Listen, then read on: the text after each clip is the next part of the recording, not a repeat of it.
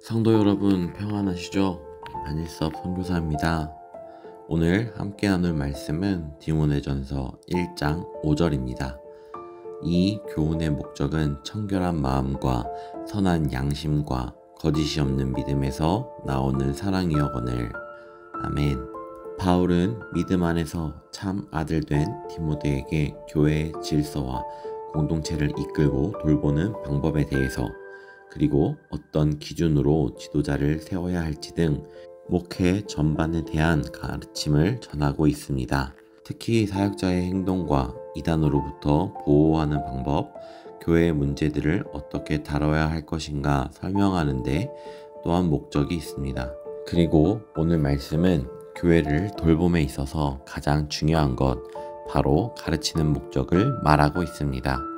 교회에서 가장 중요한 가르침을 네 가지로 정리해 보면 첫 번째, 하나님이 세상과 인간을 창조하셨다.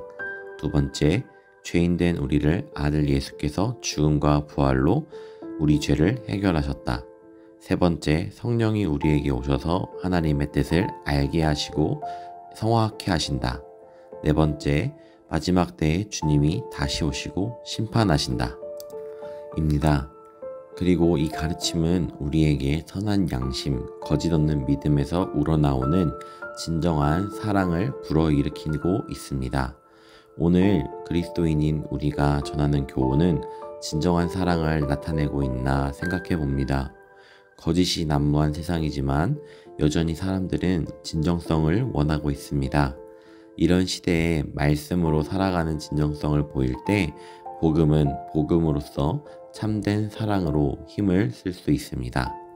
성도 여러분, 우리는 먼저 그리스도로 사랑의 교훈을 받은 자입니다.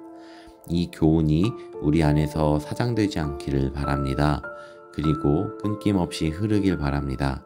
우리의 이 교훈이 흘러 작년부터 아이에 이르기까지 진정한 사랑으로 교회를 주님의 시선으로 건강히 세워가기를 원합니다. 기도하겠습니다. 우리는 주님의 사랑을 먼저 알게 된 자입니다.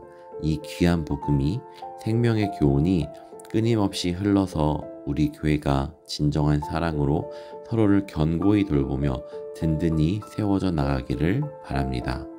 예수 이름으로 기도드립니다. 아멘.